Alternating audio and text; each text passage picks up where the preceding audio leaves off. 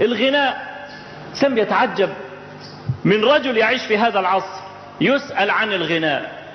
أهو حلال أم حرام؟ فإذا به يفصل تفصيلا باردا لا معنى له. يقول الشعر كلام حسنه حسن وقبيحه قبيح.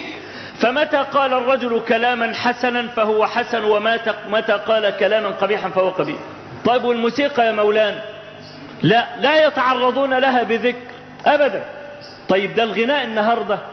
إذا أطلق نحن نعلم إن الغناء عبارة عن لحن ومغني وكلمات يوم يأتي الإنسان ببلاهة غريبة فيقول كلامه حسن حسنه حسن وقبيحه قبيح. ده الغناء مكون من ثلاث أشياء. تكلمت عن شيء واحد وتركت شيئين محرمين. الموسيقى حرام بلا إشكال.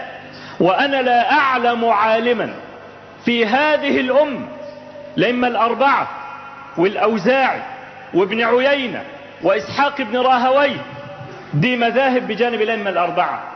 وجماهير أصحاب هؤلاء العلماء كلهم على تحريم الموسيقى وتحريم أدوات الموسيقى. لم يتورط في المخالفة إلا ابن حزم وابن طاهر وجماعة من المتأخرين. فيأتي فيضرب سطحا عن الموسيقى. ولا يفصل يقول إن المرأة لا يجوز لها أن تبرز للرجال.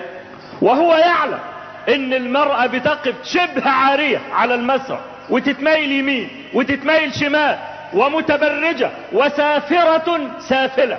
يوم يعرض عن كل هذا ويبتدي يفصل تفصيل بارد لا معنى له. الغناء إذا أطلق ده صار مذهبا والغناء ده مصطلح. فما يجوز على الإطلاق إن الإنسان يفصل إذا كان يعلم أن الجماهير ستعرض عن هذا التفصيل بل ينبغي عليه أن يقول هو حرام إنما التفصيل هذا لا محل له.